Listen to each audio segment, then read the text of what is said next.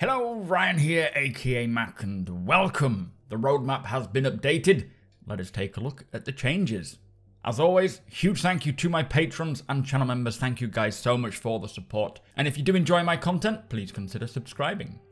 So let's kick off with some new additions to the progress tracker. The first one is player reflections, and it says this feature assures the player will see a believable representation of their character when looking into a mirror or other reflective surfaces in first person view. So, Player Reflections has 14 weeks' work, which begins at the beginning of April next year and finishing early July 2022. It will be very interesting to see how they go about creating this, as they did say a while ago that they won't be able to just render the scene twice for every reflective surface if they use ray tracing kind of tech, I wonder. Uh, but it would be far too heavy on performance if they were to just render the scene again. Uh, but I am happy that they have figured out a potential way of doing this, and I am intrigued to see what that is. Next, we have Lean Over Cover. This feature has eight weeks' work starting in mid May next year until early July, and it says implementing the tech and animation needed to allow characters and NPCs to push into cover objects as well as look, lean, and shoot over them. Now, I am very glad that they are taking this approach because I really do think being able to shoot around and over cover will be very useful, especially for trying to hold off attacks. So I'm happy that that is intended, but I'm not sure if I want that traditional sticking to cover that we see in a lot of other games, as it can be very restrictive and often cause a lot of problems if it's difficult to deal with. Games like Tarkov, Hell Let Loose, those sort of games that I enjoy playing FPS wise, and even Arma, they don't have a stick to cover, they have a good hitbox and the ability to lean or change the height that you are shooting at. So it'll be interesting to see how this comes along, but I'm a bit apprehensive about this sticking to cover, so we'll see how that develops. Our next feature is System Broadcaster. Now this is implementing a system that enables the scheduling of various types of server-wide communications to the player. And this will most likely be used for these dynamic events like the Xeno threat triggering when the events trigger dynamically. Now, this feature has 8 weeks' work, which starts early May next year until late June.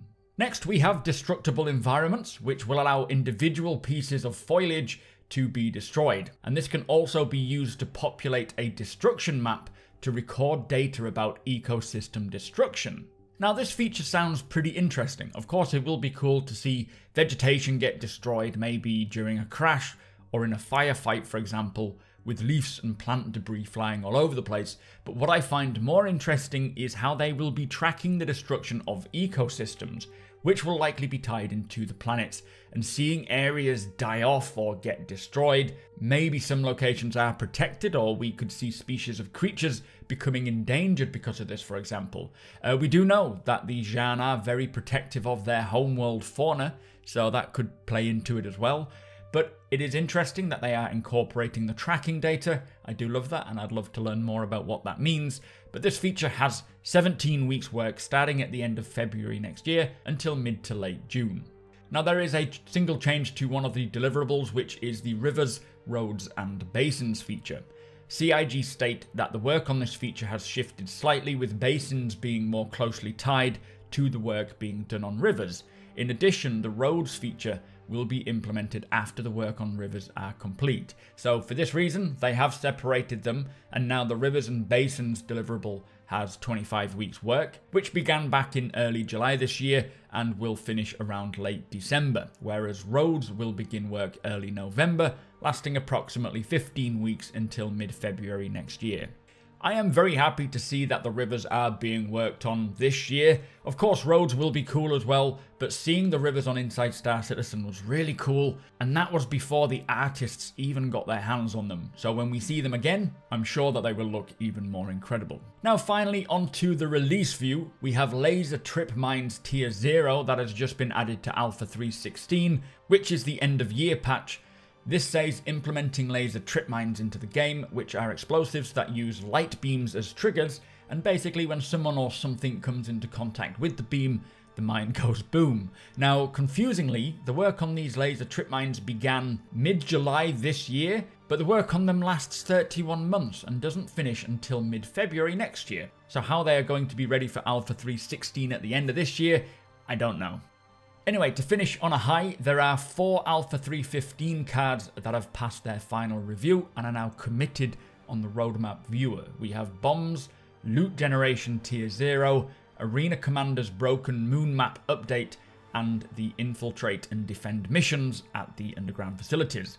All of these are now committed, so there is very little chance that they will slip. Let us hope that we see many more 315 features get committed for the next roadmap update in a fortnight, and fingers crossed the next updates as we come closer to 315 and not going to be losing features. Anyway, that is this week's roadmap update. There are some cool new features being added, and it is already almost time for 315 to release. And of course, CitizenCon.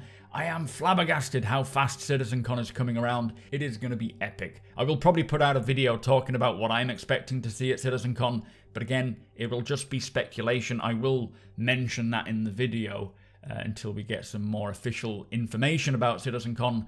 But with that said, if you do enjoy my videos, please consider subscribing and helping the channel to grow. And if you want to learn more about Star Citizen or just hang out with myself and my community and chat about the game, you are all more than welcome over at twitch.tv forward slash Super Mac Brothers Ryan. Hit the thumbs up if you don't mind, it does the channel a big favour, and tick that notification bell if you would like to be notified when my videos go live.